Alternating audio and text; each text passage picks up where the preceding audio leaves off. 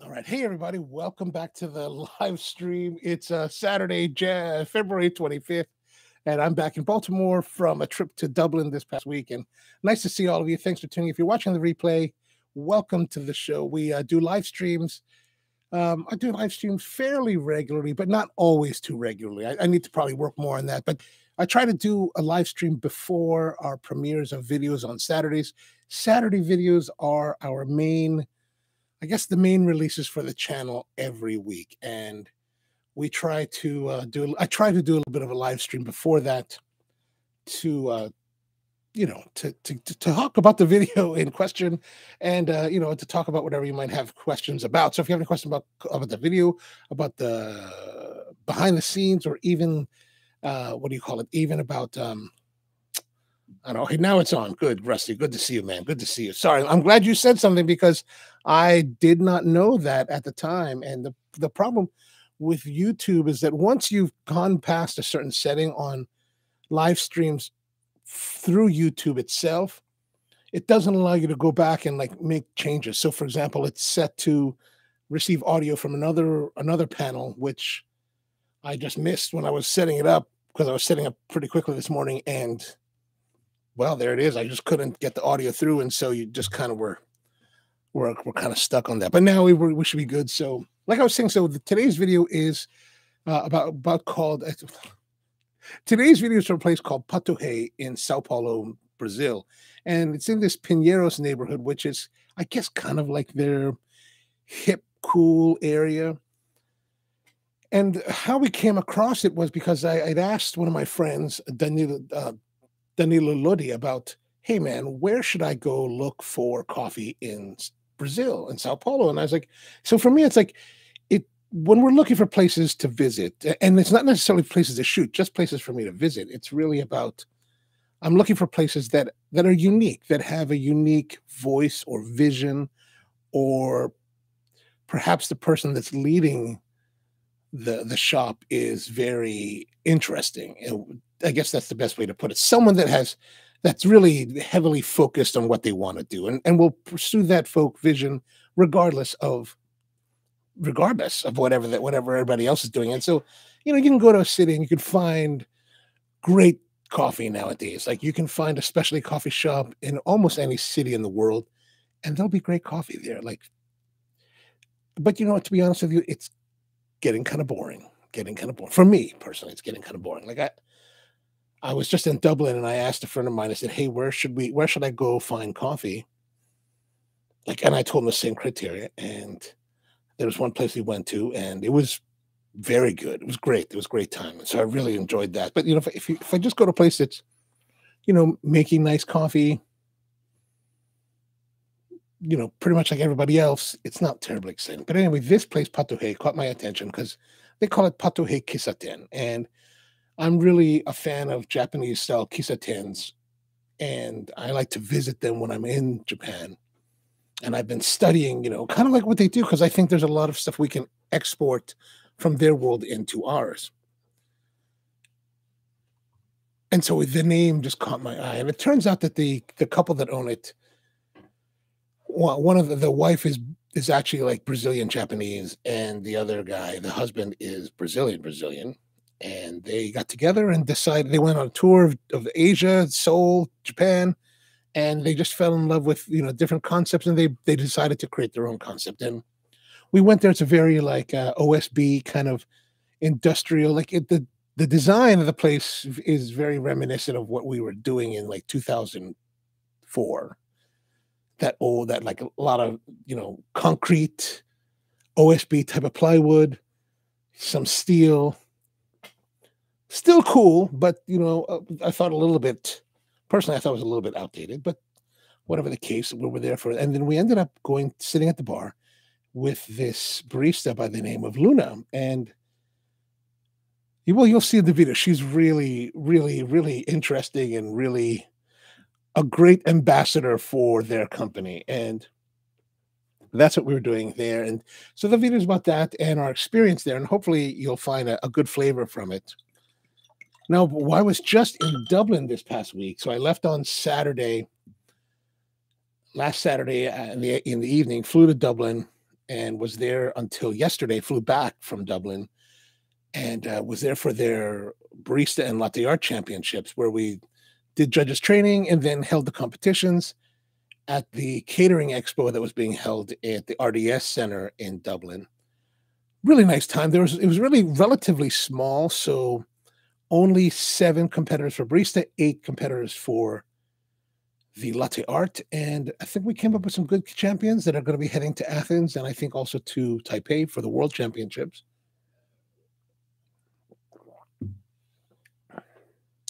And Rusty says, "How was the Irish breakfast? Renew your Lipitor meds." You know, I was thinking about that. Like, I was previously in Dublin in 2016 for the World Barista Championship, and I went out to eat. And, and during that trip, I was staying at an Airbnb, really, really cheap, really, really basic. You know, there was breakfast there. I, I believe there was breakfast, maybe like toast and something like that. Just basic, perfunctory breakfast to get you on the road to get out the door. And one day I did go out to a restaurant and have the full Irish breakfast with the uh, with eggs and the beans and the tomato and the the I guess they had mushrooms too or whatever and the blood sausage. I like the blood sausage. The beans and the tomato and the mushrooms to me are just weird to have in uh for breakfast.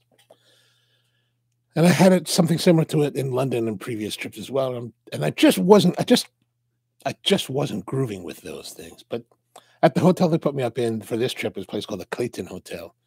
Relatively nice hotel, nice breakfast spread, like wide breakfast spread. And and they had on the hotline all the components you need to make a proper English, uh, to prepare to make a proper Irish breakfast. So scrambled eggs, toast, what else? Blood sausage, the other type of oat kind of sausage, white sausage, I think they call it Irish sausage uh, they had the tomatoes, the beans, mushrooms, and bacon rashers, which is kind of like a thicker cut ham.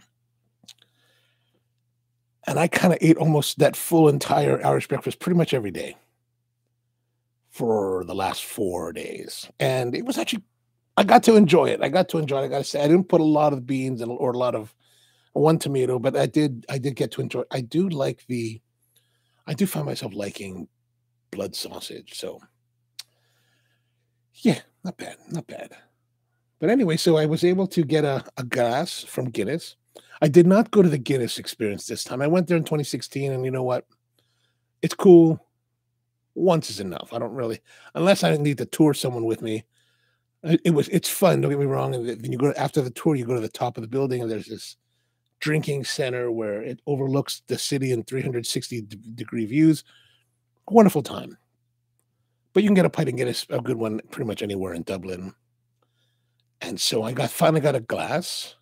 Actually, I had gotten one in 2016. And then on my trip that time, I flew out to London after and was visiting with my cousin, and she promptly kept the glass. So I was out of my glass. So one of the things I had to get on this trip was a glass. But um, yeah, so that's pretty much the trip there. We got I got some videos we shot. We shot at a place called Brew Lab, which is a brand new coffee company or a coffee shop in the center city of Dublin. It's um oh Rusty says, so you got your certificate? No, I did not get my certificate on I was watching them though. So you you pull the tap. I was watching this one guy and he's pull the tap and then he brings it to about here. Or maybe there's a line here. Maybe, or maybe you use this as a reference. I don't know. I don't. I was paying attention, but I wasn't paying that close to the detail. But probably to about there, and then you let the the foam rise, and then he hit it again until it reached the top. Now he did not. The, the place that I went to did not do the shamrock. I might have to go buy some Guinness today and play with that. Although I did hear, remember you hearing years ago that this is probably the 90s when when Guinness first started, I guess, putting it into bottles, and they had some kind of nitrogen charger or something inside the bottle that it was it was not designed to pour into a glass, but it was then designed to be drank straight from the bottle. I don't know if that's true or not, but yeah, that was kind of what we were. That was kind of what we were doing. It was good. I went to a comedy show this uh this this, this friend of mine that I met, she uh, I wanted to go. She asked me to come with her to a comedy show, and so I, I went and joined them. Had a nice time down in the center city, and uh, oh, back to the coffee thing. And uh, we went to this place called Brew Lab. Very nice place, really well done. Husband and wife team, actually husband and wife competitive team. So they both have competed in multiple competitions: Brewers Cup, Latte Art, Barista, Cup Tasters, and they have placed as well as won their national championships. So very, very accomplished in, in that in those terms, and really well designed place. Like it was, it was really a great place to visit. It really well designed, great coffees, really well done. I mean, I, I'm, I'm I, I I did shoot a video there, so that will be coming out in the, in the coming weeks. I did not shoot too much video. I did shoot a video about the. I did, I did shoot footage at the Latte Art Championship, and oh, Darcy says the nitro charger is in the in the can, not the bottle. Okay, good. Thanks, thanks, thanks. So that's meant to be drank out of the straight out of the can, right? rather than the bottle. I guess I'll go buy the bottle then. anyway, the uh, uh, I'm planning to put together a video about the Latte Art Championship, not necessarily about that specific Irish Latte Art Championship, but more of a video kind of like the uh, the Cup Tasters video that we shot in Saudi Arabia, where it's really more about giving basic and general information so that people can have a better appreciation, and understanding of the Latte Art Championship. So I shot a bit of footage there and didn't really shoot anything of the Barista Championship because we've got plenty of Barista Championship coverage already and also that are in the works. But another thing that what else has been happening? Oh, I did get a. Uh,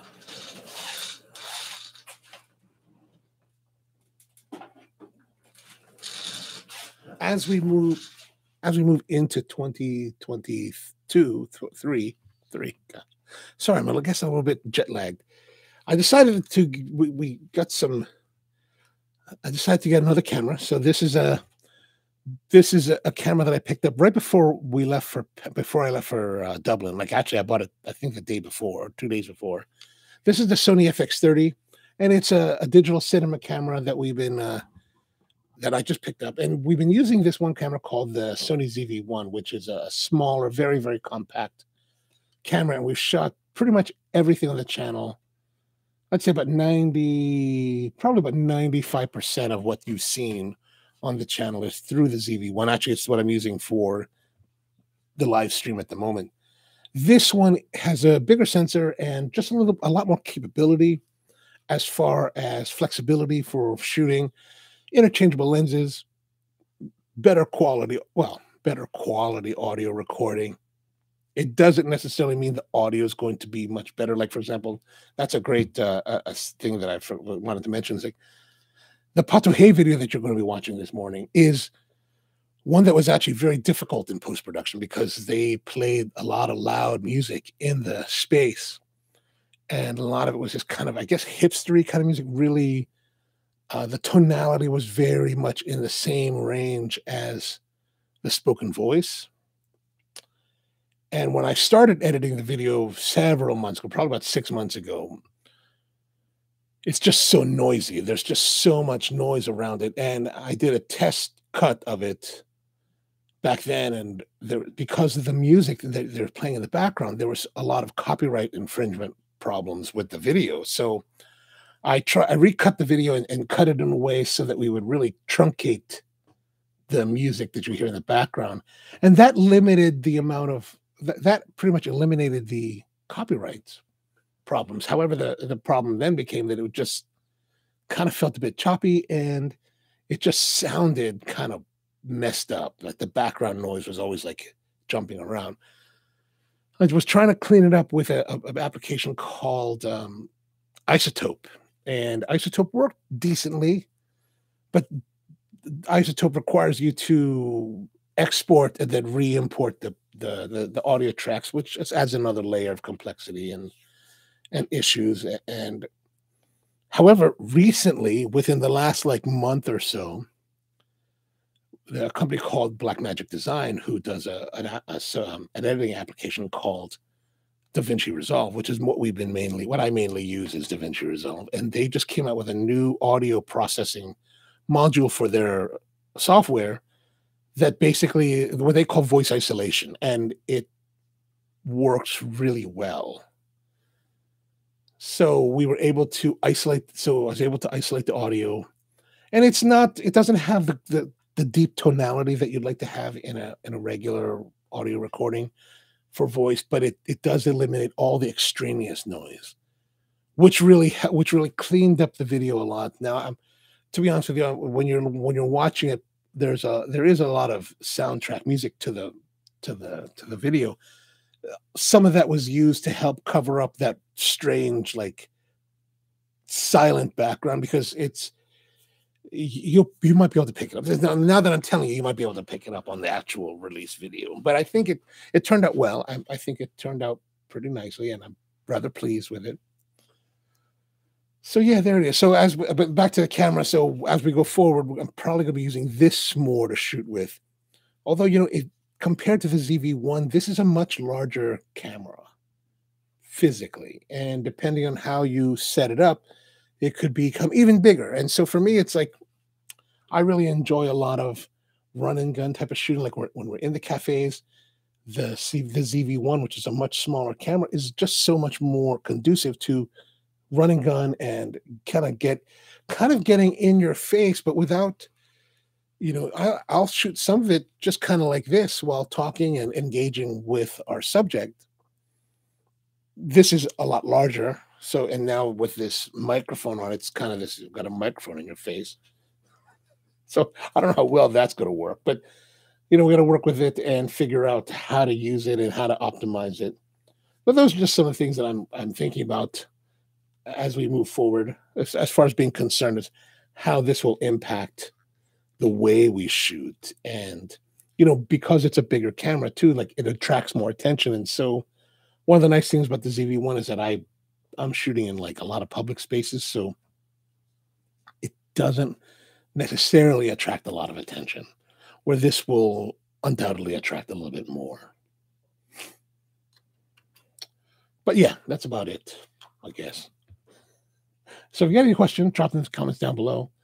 Um, just some thoughts on today's video. It's um, what else do I need to tell you about it? What else can we talk about here? Yeah, Patohei. Also, when you look at the listing in the in the description of the video, it says Pato Rei, like English speaking will be like Pato Rei. Turns out that in Portuguese, or at least in Brazil Portuguese, the R's are pronounced like H's. Like we would say hotel or hotel. Oh, yeah, hotel. Pato, yeah, hotel, Pato Hey instead of Pato Rei. But it's a really nice shop that's I think worth worth checking out.